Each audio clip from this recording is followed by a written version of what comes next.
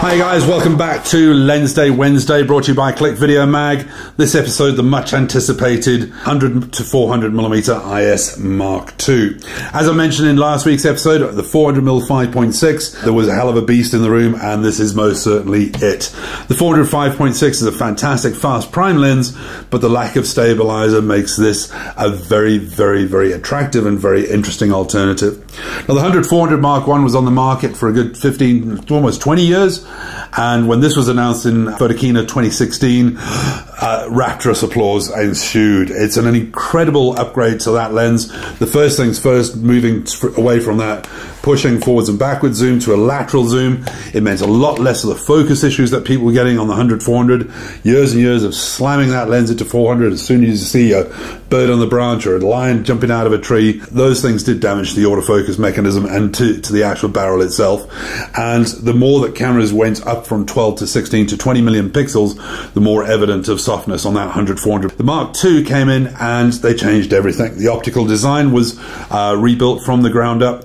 New coatings were added, the fluorine on the outside, the air sphere coating, etc., etc. The end result is a an astonishingly well engineered lens. Canon engineers rate this as one of the hardest lenses to build. And given the kind of quantity that we sell of this, it's quite astonishing to, to understand how much work goes into building this particular piece of glass. Everything about it screams quality. It's the L series, that red line you've known uh, and trusted for years. Features, capabilities, the optical performance is astonishing.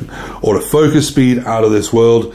The lens comes standard, as you can see from this one, a very well used uh, tripod collar, which is removable and adjustable and replaceable. The four stop image stabilizer is absolutely astonishing. For the first time ever, a uh, lens hood that had a built-in window specifically for people using circular polarizers. You can actually turn turn the lens element again for the first time ever. Canon, I would guess, over-engineered this baby specifically because it's a workhorse amongst uh, wildlife and bird photographers worldwide.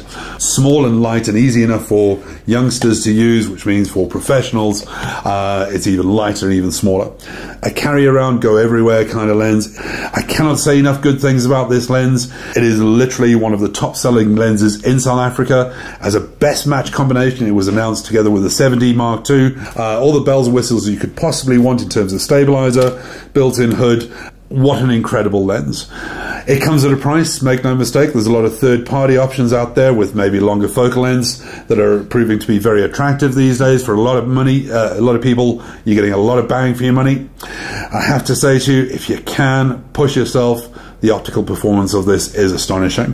Whether it's on promotion with a cashback, whether it's on promotion with a free extender, the extenders work very, very, very well, especially the 1.4. And when you put that onto a crop sensor camera, you're getting a 560mm at f8, but on a crop sensor, looks closer to a 750, 800 millimeter lens. Nothing wrong with that in a package this tiny. Anyway, as always, thanks for watching. Let me know your comments below whether you agree with me, whether you disagree with me. I know this is going to be a contentious lens. I know that a lot of people are going to want to talk about it. Is it sharper than the 400 5.6? I think so. Uh, sorry, uh, that is the truth. That is what it is. Anyway, thanks for watching.